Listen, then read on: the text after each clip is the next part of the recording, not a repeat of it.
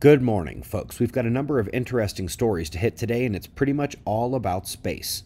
We're starting, as always, with the last 24 hours on our star at spaceweathernews.com, and we find the same bright active regions in ionized iron as we saw in the red ionized helium from the opening, but we also see the coronal hole on the south.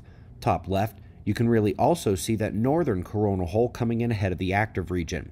There, the sunspots did indeed produce a small C class flare yesterday, minor, but we'll monitor those spots as they turn in today.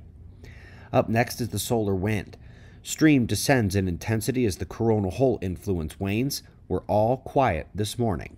And so we're off to Apophis.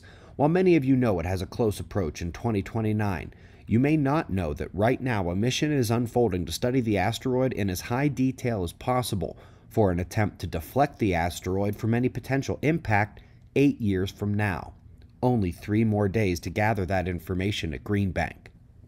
Of note for Vega watchers, one of the prettiest stars in the night sky, they now think there's a scorching planet locked in super tight orbit. After reviewing the data, in reality, it might just be a weird light fluctuation at the star they can't yet explain. Up next, we remember yesterday the story about the most distant cosmic jet ever seen in radio waves. Today, Chandra steps in with the most distant X ray jet, about 12.7 billion light years away. It is amazing to watch the change in these articles' discourse from the model breaking impossibility of these massive objects existing so early to their asking if these new studies can elucidate how they're managing to form so quickly. Still, never willing to guess, they actually had more time.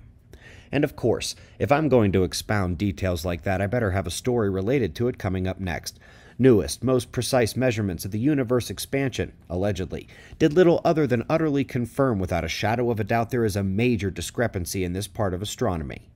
Lastly, on the article front, something we've seen at the galactic scale and now scaled down. Just as we've seen them realize that galaxies are not islands in space and the inflows follow magnetic fields, it's the same here. The field effect is not limited to one part of the connected system. The planets are no different in their stellar environments. We are connected much more vastly than we're primed to believe. It is these larger scales of connection which explain why the Sun has so many correlations with seismicity and weather. It's directly connected to it, and the distance between us is negligible when discussing effects of magnetic field waves. Folks, this video from Friday night eliminates your need to find the right words, explain why you are into these topics, or break down the data or sets of facts. You can just leave a breadcrumb, crack open the door. My goal was to make that easy for you, for you to have a one link share for detractors and skeptics. It's a tool. Use it. Folks, we have some slightly damaged copies of the books available at the site, both the textbook and the new book. And website members at suspiciousobservers.org, your deeper look from yesterday is a monster, especially with the solar micronova mechanism on many of our minds. Simple and understandable. Our books and observers gear is found at otf.sells.com. We greatly appreciate your support. We've got wind maps and shots of our star to close. Subscribe and we'll do this all again tomorrow right here, but right now it's 5:15 a.m. in the new Valley of the Sun.